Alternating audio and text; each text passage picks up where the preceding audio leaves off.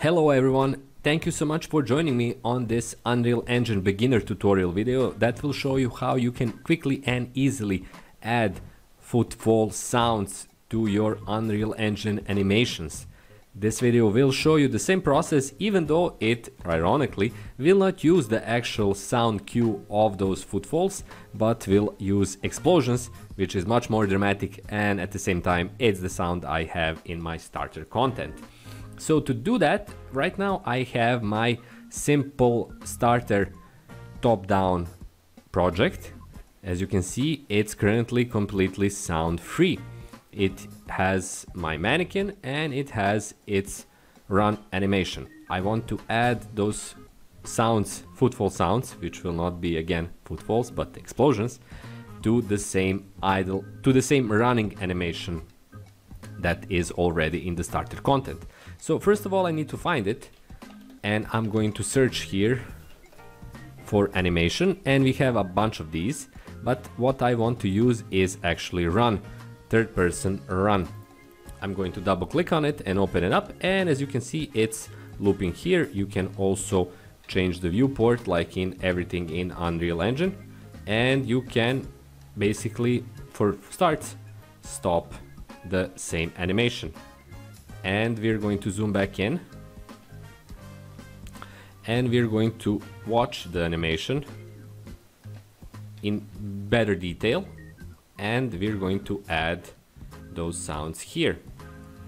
So this is a good vantage point. You can go through this by simply rewinding the play button. Now don't get confused. This kind of viewport changed over the years in Unreal Engine, but it basically does the same thing in any version you might have. The thing you're looking for is notifies. And you already have a single notify track, which is here, and it's empty. In this space, you will add those sound cues. Now, the cues are only kind of a segment that tells the Unreal Engine to play something. And later on, you have to choose the actual sound you want to hear at that point. So to add notifiers, you simply need to right click in this space and here is add notify. And there is a bunch of these. As you can see, there are simulation particle effects, but there is also play sound. So I'm going to add the first one right at the start. And I'm going to add the second one basically when the other leg gets into contact with ground. That should be somewhere around here.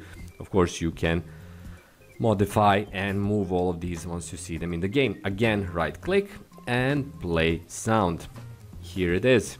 So we have our first and our second and we can also add our third here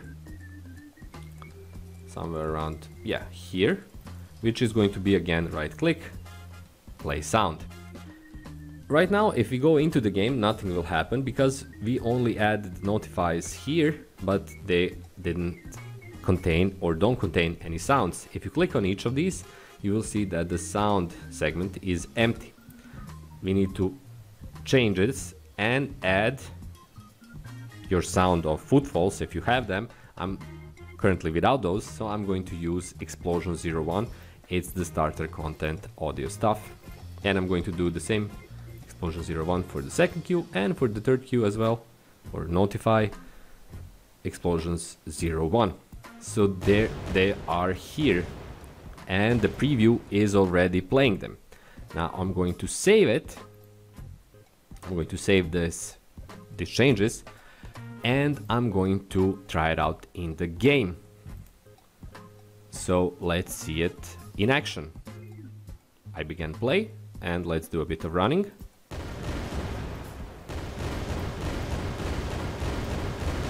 and there it is. As you can see or better said here there is a bit of overlap. So the first and the third are too close. And I'm going to move the second one uh, uh, actually the third one a bit further here. And this one here this one here. And now there should be less of that loop overlap. Let's try it out.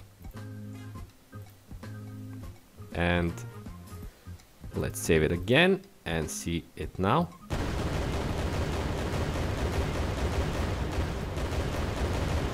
So it's far from perfect, there are in a kind of weird blend when the animation loops there is kind of an overlap, but that's the basic process. Once again, you simply open up your animation and add things in your notify tracks.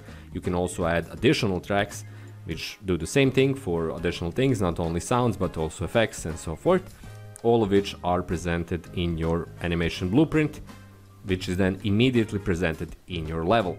So there you have it, it's really simple, it's really easy and straightforward. Of course you need footfall uh, sound effects and stuff like that, or you simply want to have your mannequin creating excellent, amazing, really cool explosion sounds whenever they hit the ground. That's all for this Unreal Engine tutorial video, hope you found it useful, thank you so much for watching and sticking all the way till the end. If you'd like to support my channel, there is a bunch of ways you can do that in the description below. The easiest one is to simply subscribe to my channel and check out new videos once they come out. My name is Ivica, until then, thank you so much for watching, don't forget to leave a like if you liked the video, leave a comment or question in the comment section below, and I'll see you again with my new Unreal Engine beginner tutorial video. Until then, have loads of fun in your Unreal Engine projects. Bye bye.